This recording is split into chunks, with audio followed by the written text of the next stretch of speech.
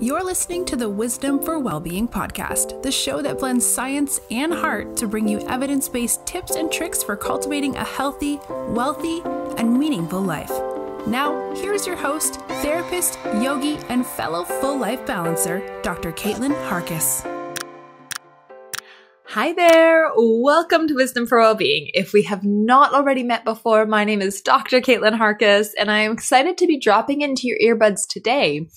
And actually, after today's interview, I think that I now more than ever appreciate how sacred this connection is.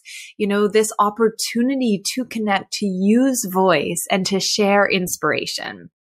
We have not talked specifically about voice before. And today we are hearing from Dr. Louise Mahler, who has won the Speaker of the Year award. She's essentially an award winning body language and communication expert. You are going to hear about how you can use your body your voice to massage other individuals. Now, this might sound a little bit weird, but let me explain more. Louise is going to talk us through how language, how voice can convey in a very visceral felt sense. In fact, if you listen this interview through to the end, I have no doubt that you're going to have this sacred sense of voice, of sound, of how we resonate with others. So let me share a little bit about Louise. Now, Louise moved from the Vienna State Opera back to Australia and noticed there was this missing ingredient in corporate leadership. She completed then an award winning PhD around using the unsung wisdom of the mind body voice connection. And she named this vocal intelligence.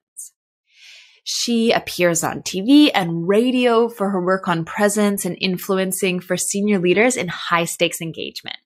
Having worked with Fortune 500 clients, including BHP, IBM, Adobe, and after a lifetime of being a communication expert, Dr. Louise Mahler introduces you to new ways to engage and communicate in business. I am so excited for this episode. In all honesty, you know, I wasn't sure exactly what to expect. However, I highly, highly, highly recommend that, you know, listen to it now, but get on to YouTube. You know, we've got a YouTube channel there and you can actually see Louise using her body to communicate, to resonate. It adds another layer. So I recommend it. Of course, audio, we talk through anything that you can't see here. So you're not going to miss anything, but I definitely believe that there is something to be gained. One other thing I'll draw your attention to, and you'll no doubt hear at the end, um, Louise has a puppet that she introduces you to. Now, her puppet is this challenging side of her, and she talks about how she acknowledges it, recognizes it, and you're just not serving me right now. This is acceptance and commitment therapy in action, isn't it? This is the diffusion skills that I am so passionate about. And I love to see Louise's visual representation of this part of ourself, you know, our mean mind, you know, our protective mind, this part that has all these messages that may or may not communicate at the optimal time. But without further ado, let's dive in. Let's hear from Louise now.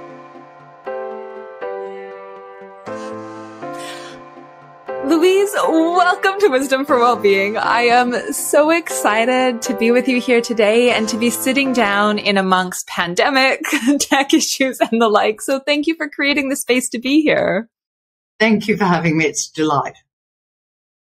And we are talking about something that we haven't talked about on Wisdom for Wellbeing before. We are specifically talking about body language, communication, voice, you know, what you describe as mind body voice connection. And this is something you wrote an award winning dissertation on. You know, you've written a beautiful book on resonance. For mm. listeners who are not familiar with your work, would you mind just sharing a little bit about who you are? Mm. Uh, well, my background has two sides. One is I actually am in business. I work with leaders in business. But the other side is I sang opera and I kind of put those performance skills together for people in business. And having said that, I do it in a, in an unusual way. You know, people see me on TV, they see me analyzing people. and they'll think, oh, that's what she does. She analyzes. Well, you know, there's more.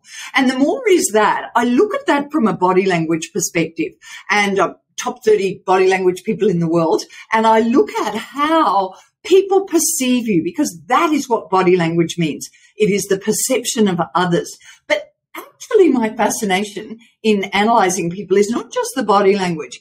It's why we do what I, we do to express ourselves from a health point of view, from a mental point of view, from the fact that we are presenting our authentic self. So really looking at it from these two very different angles.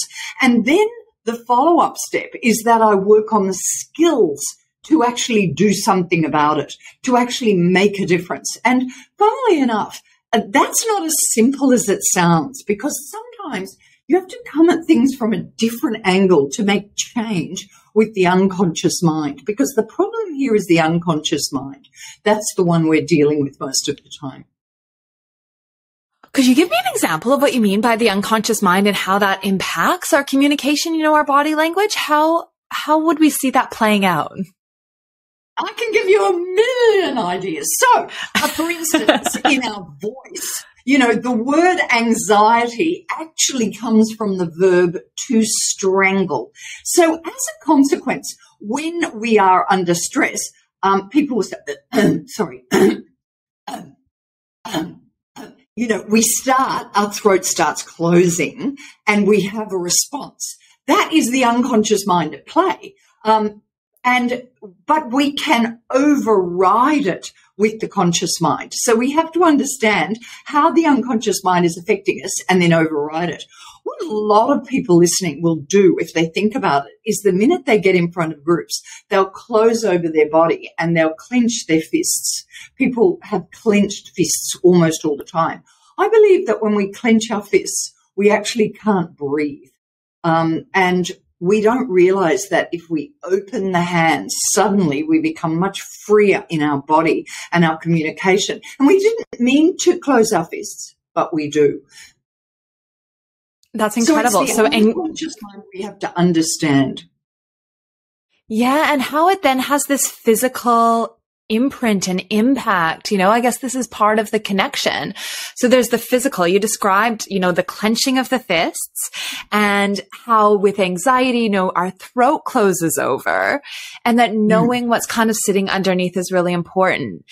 I'm, I'm keen to come back and dive into this because I have no doubt that there's going to be many listeners going, how can you, for instance, you know, speak in public or communicate your ideas without anxiety, which I know is an area you work on in supporting individuals here.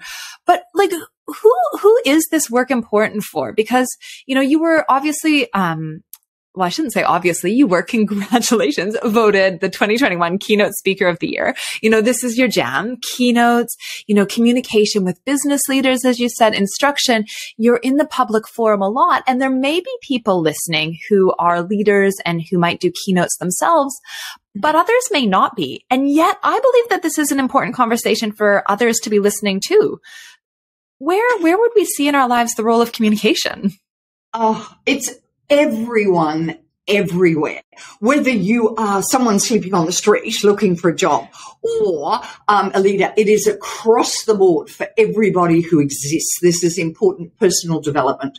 And, you know, when I'm queen, everyone will do the work. Um, however, how do you have the biggest impact? And I think you get the biggest impact by actually working with people who lead others because a fish mm-hmm. rots from the head.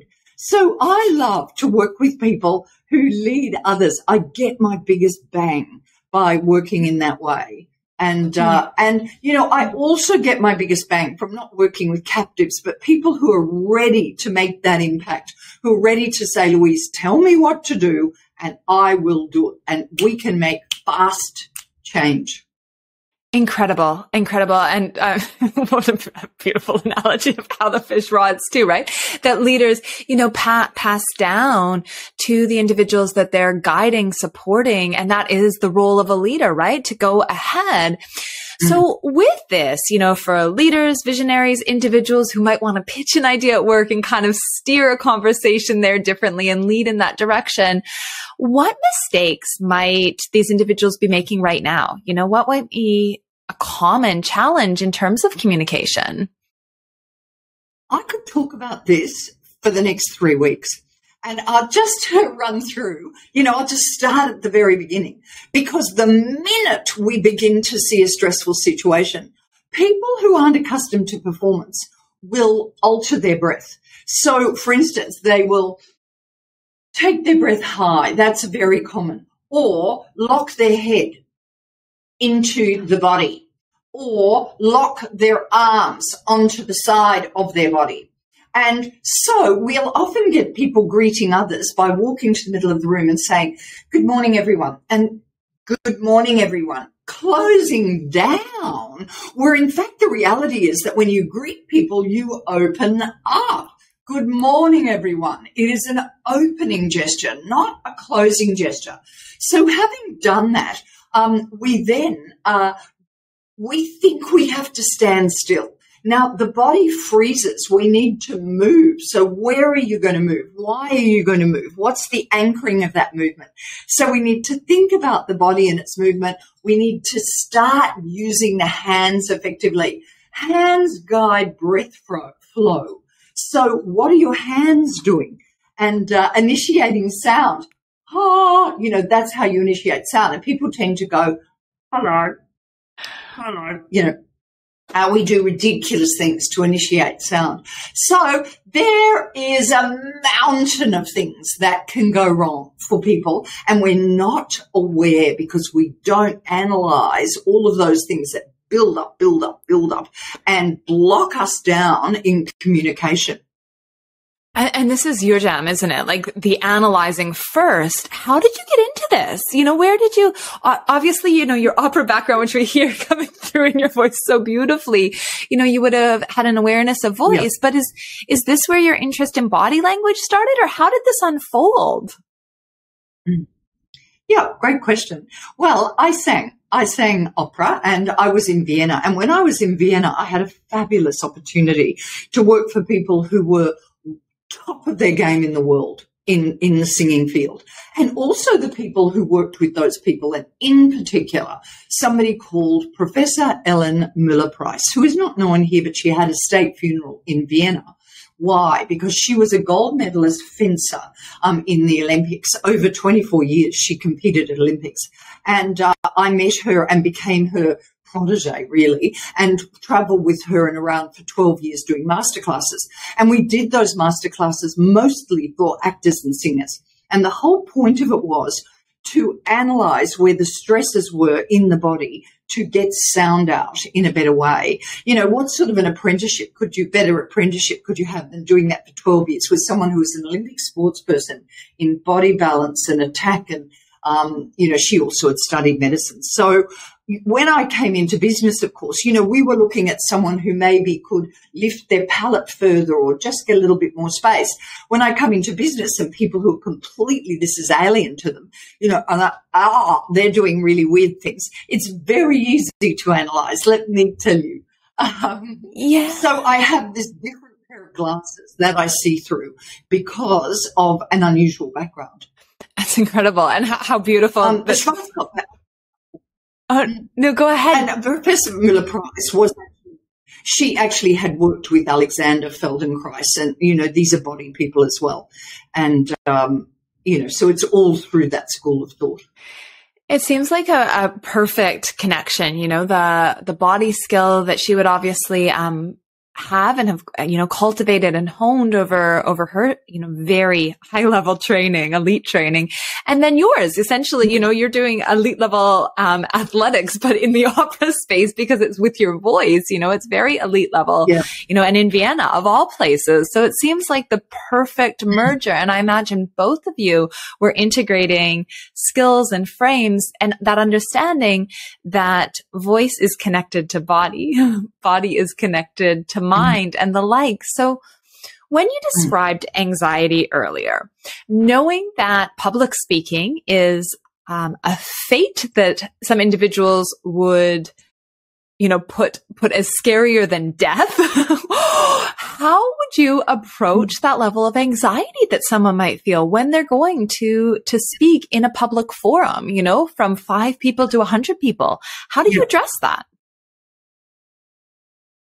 Well, I've studied performance anxiety a lot, and I myself has ha- have had it worst case scenario since I was five years old and work through it every day. So I love helping people with it. And I, you know, I understand the different stages of catastrophization well before an event, panic at an event, and rumination after an event. And I guess the major area that people suffer with is panic. And one of my favorite case studies was a fellow I worked with, and he came into the room, and it was a Thursday. I remember it so strongly. It was a Thursday, and he was so panicked. And he started to do this. And I thought, he's going to blow up. And then I said to him, when is this presentation? And he said, Tuesday. And I said, where is it? And he said, London. I said, okay, it's Thursday now. We've got till Tuesday and you have to get to London. Right. Well, that's kind of an exaggerated what I'm getting all the time. And what I find is that the classic way of dealing with any performance anxiety is to go back and explore the mind. I don't have time. I don't have time to say to someone who's in a panic attack, tell me about your relationship with your family and your mother. And you, I don't have time. I actually have to analyze how the the mind is affecting the body and I'll see where it's impacting in the body. And then I can undo those stresses. Funnily enough, it will go back and affect the mind and help people be more confident. At the same time, when you release the body, it in turn releases the voice. So you can hear the results in the voice, um, work on the body, it goes back to the mind, and you'll hear it in the voice. And it's a fast track. That's incredible. And I think so powerful, isn't it? That, you know, there's, there's so many ways in and working as a therapist myself, where a lot of the time I am asking, you know, tell me about, tell me about childhood and the like, you know, that there's another way in, that there's a body based practice as well. And we know through like mm-hmm. hosts and hosts of research that if we change our physical positioning, we actually change our emotional state. So perhaps not surprising mm-hmm. that our voice changes with with that. You know, and I, I guess I'm wondering, yeah. you know, in your work, you kind of, it sounds like are at a very sophisticated level identifying areas of tension or where there could be release. Is there anything else that you do? Like, are there common patterns, common um, positions that people are maybe using that are suboptimal? Yes, well, it's all about blockage. But, you know, my favorite phrase in this area is that vocal dynamics echo psychodynamics through the middleman of the body. And uh, likewise, um, psychodynamics echo vocal dynamics. You know, it works both ways, uh, you know, all the time. You're working. Um, what do people do? People do very odd things with their voice. And it comes from just patterns we've built up over the years, patterns of stress that we accept and feel comfortable with. So we no longer realize that what we're doing is not necessarily natural, but habitual. And that's the first thing people have to realize that they're habitual skills. Um, that we have and therefore are changeable. And we need to get rid of the word natural. Um, get rid of it. Everything is changeable and work through a change plan. So you'll be looking at your eyes. You'll be looking at what you do with your face. You'll be looking at where you put your head. You'll be looking at how you hold your body. What is your power strategy? Because for many people, they will use their head as their power strategy. No, no. And they use their head. That is not a viable power strategy. Um, instead, you use your lower body. And it doesn't matter if you're a horse rider, a rower, um, you know, a swimmer, whatever you do, power is in the lower body. But when we come to speaking, we forget all of that and we start to use our head. And, and it's, it's ridiculous. Um, and we're never taught it. It's not raised to our awareness. So first of all, it's perceived as something that looks really stupid. But second of all, it's actually not good for you. You know, it's killing you to do these strategies. You'll hurt your neck, um, unable to breathe. It'll shorten your life apart from anything else. And it's not rewarding. Yeah. I'm passionate about gestures. And in the business world, there is, to put it politely, bugger all research in this area, is that um, we all know through voice that hands guide airflow. You know, blah, blah, black sheep, have you any wool? You get to the end of the phrase. You sing it, all singers do it. Well, is it any different in singing or speaking? You know, there are two theories of voice. One is that we're born speaking and we expand that out, how difficult, into singing. No, actually, the reality is we began singing and we've squashed that down into speaking. Um, and uh, if you realize that you were born with this huge capacity, uh, then you know you're going to realize that you have a massive expanse of vocal repertoire. And to get that out you need your hands. The question is how do you use those hands? You don't um, just wave them around uh, you actually use them congruently. They have meaning. So we have to learn where congruent gestures go, uh, when we use them, how big they are, what we do with our gestures. Very You have me wanting to bring my hands up onto the screen just in this conversation and watching you use your body so beautifully. So listeners who maybe are normally um, audio listeners, I would recommend for this episode that you jump onto YouTube and you you actually watch this, and of course head to Louise's um, Louise's website where you can see you know many many videos and you know you in action speaking formally. So listeners who you know have been who haven't had this information provided before, you know, forgiving ourselves for what we didn't know before we learned it. And they're kind of now going, okay, so there are some things I can do to enhance the quality of my voice, to um, ensure that I'm using my body language optimally. It has to do with my hands, you know, letting go of the fists that you described that are so common when we're anxious, when we're constricted, you know, opening our hands up, sort of putting the power into our lower bodies. And they're starting to kind of move into this area, I know that breath is something you talk a lot about here as well. Do you have a couple of breath tips that you could offer listeners to start to bring in? I do. Yeah. So let me ask people who are listening do you speak on the breath out or do you speak on the breath in? Now, what's fascinating is that many people have to think about it.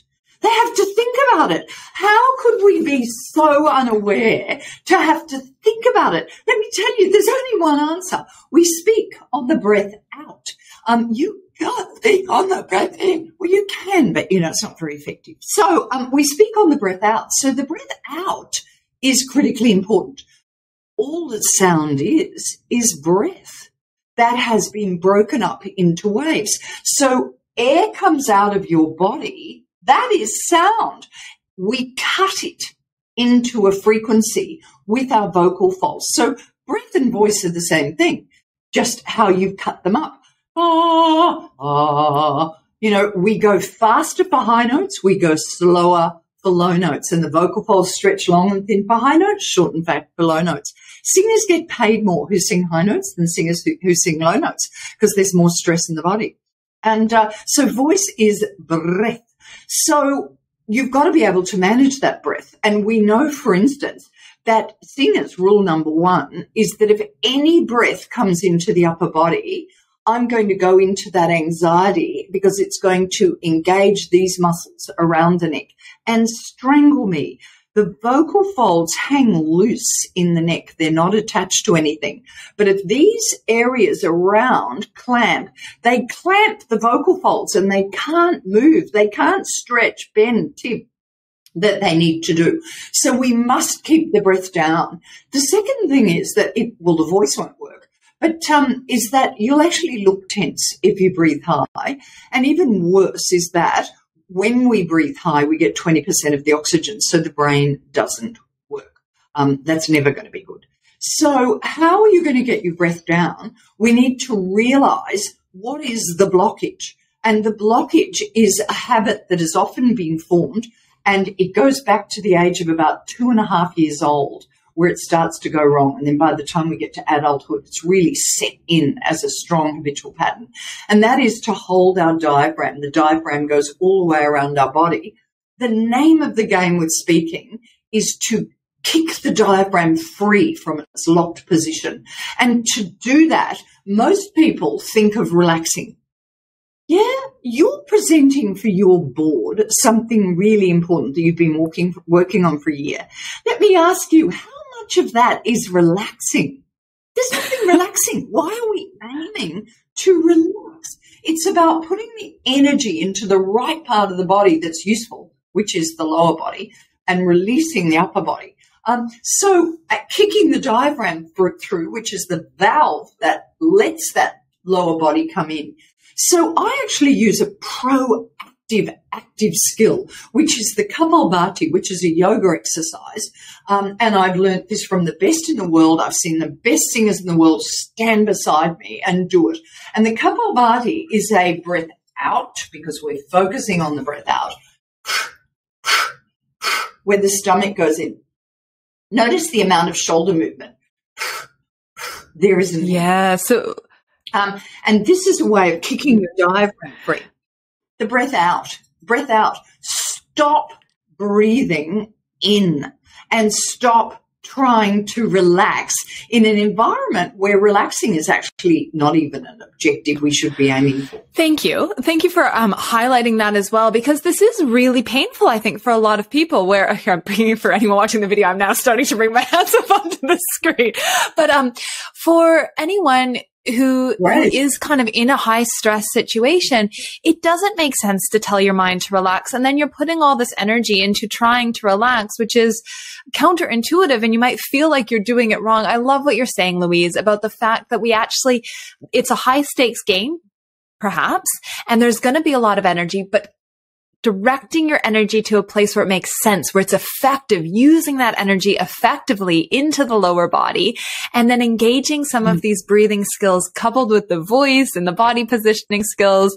For anyone again who's listening right now, get on to the video because you've got to see Louise demonstrating Kapalbhati, which is an incredible breathing exercise. I love that that's in use. So you're physically engaging in these breathing practices so that you're essentially, is it that you're cultivating the muscle mm. skills, you know, to to relax the diaphragm, and then you bring that into these um, more high stakes situations. Release, Release the, the, diaphragm. So belly is going out and in. And you know, interestingly enough, you, you, know, you're in Adelaide, Kaitlin, and one day there was a Rinpoche who'd come from Tibet um, with the Dalai Lama had sent him out, and, and uh, we were doing a presentation, and he came up to me and he said, "That is exactly the work I do, exactly the same.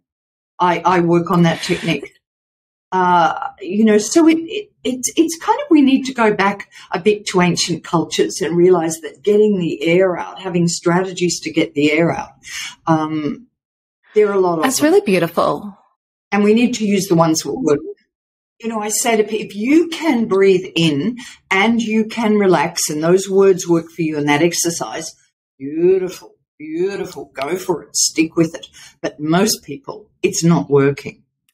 How incredible, you know, that ancient wisdom has some of these techniques for us to offer that, you know, in a way there's a spiritual, if that resonates with people, a spiritual practice that can be embedded with, you know, cultivating this body awareness, the sense of being in touch and attuned, you know, this mind body voice connection. It's very holistic in nature. It's recognizing that all these parts of ourselves influence one another.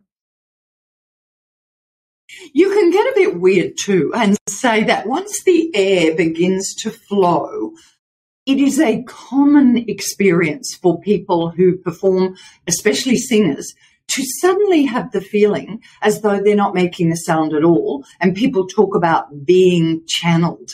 It's almost like someone else is making the sound and you're just opening your mouth and it's coming out you know, where uh, it doesn't happen all the time, but you'll get that, you know, that's what you're aiming for really, to have that total freedom. And you think about Aboriginal culture where we have the didgeridoo. So that free flowing of air is so important. And from a perspective point of view, we say your air must flow to be trusted and credible. Yeah, well, actually, your air must flow to be healthy and unblocked. And the didgeridoo, looking at a spiritual level, is that's so important that people have even learned to do circular breathing. So they never even stop to breathe. The air just continues to flow. You know, our word uh, to breathe actually, um, psyche, the word psyche actually comes from the verb to breathe. Um, the, the verb personality comes from um, when people wore masks. There was a hole where the sound came out. That's how the actor came to the audience was through their sound. So it was persona via sound. The actor came to the people. Hence the development of the word personality. Our personality is our voice. Um, and uh, inspiration comes from spirare, to breathe. We inspire others. We get air out of our body and into the body of others. Um, it's about inspiration. There's pictures of Jesus connecting to his disciples through his mouth and his voice with the strings. There's a Raphael a painting. Um, it, it's all it there in is, ancient cultures, in ancient it? cave drawings, where they have waves of people connecting. And we touch people with our sound. We touch, we vibrate the skin of the people around us with our sound. We bounce the eardrum but we bounce the skin all over their body as well. We massage people with our sound. Oh, have tingles. This is so powerful and how incredible to see it in various different cultures. You know, the, the wisdom of the indigenous peoples around the world, you know, is really conveying the beauty, the healing qualities of sound. I, I feel like we could spend hours and days mm. diving mm. into this. as a leader, people stand up and go, okay, right now, what we like to look at, uh, and and and and we break, you know, the sound, and we get tight in our resonance, and it's just unnecessary. It's up here for thinking. Know? And, and it, this is so beautiful too, isn't it? Because I, I, suppose what you're kind of conveying to like leaders have this beautiful role where they're conveying information. They can massage the individuals they are guiding with their voice, with their message, which seems to be incredibly fulfilling and nurturing.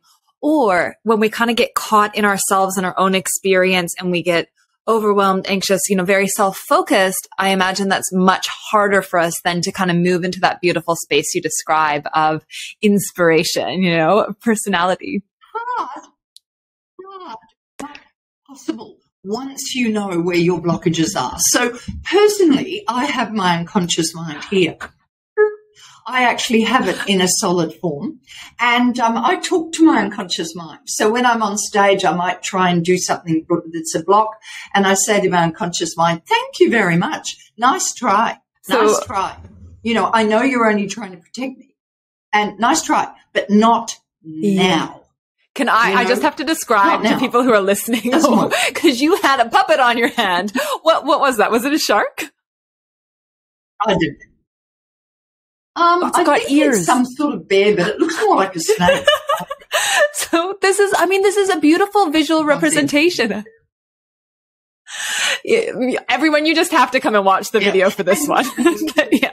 So it, it's an interesting point. When I'm working with people, I can actually see uh, a person on their left hand side. I see almost like a sort of a mirror vision of themselves. And when I'm working with people, I'm not working with them. I'm working with this other, you know, we all have our systems, but I'm working with this unconscious mind that is fighting me. And I fought the fight a billion times with thousands and thousands of people.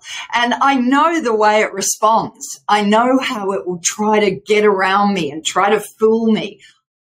I'm up to the game. I've seen it all. I've heard it all. Uh, I know and where it's that. Going you know, you've mentioned that you've worked with so many people. Mm. I am, I'm keen for you to let listeners know where they can connect to you. You know, where, where can listeners find your offerings, your work, you know, your book? Well, it's the easiest thing in the world because my name is Louise Mahler, M-A-H-L-E-R, and I'm one of the few Louise Mahlers in the world. It doesn't sound that unusual, but actually it is. And I am the only Dr. Louise Mahler in the world. Um, so how could that be easier to find? Dr. Louise Mahler. And I have website, videos, YouTube, Um, you know, there's there's nothing. Uh, I'm I'm easy to find, and uh, yeah. So louisemahler.com.au. And listeners, it will be in the That's- show notes where as well. Um, Louise, before we do start to wrap things up, I would just love if we could finish off with you describing what, Mm-hmm. you know, it means to you to resonate. Like, what does that mean to you? Because I, I kind of get the sense that it's powerful and I don't want to miss this opportunity to ask. Ah, right.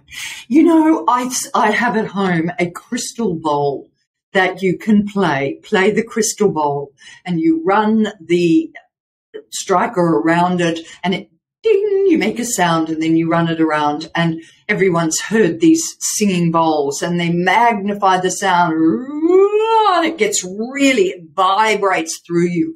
And we have the possibility as people to resonate in that way, to actually, it goes back to airflow to get the air out of your lungs, through your throat, into your mouth and out and magnified with just the effect that you want. And we need to know how to do that because it's not just a matter of communication. Communication's great, but it is a matter of bringing who you are to the world. What is your tone? What is your vibration? What is your resonance to the world? Oh, Let's That's find it. incredible.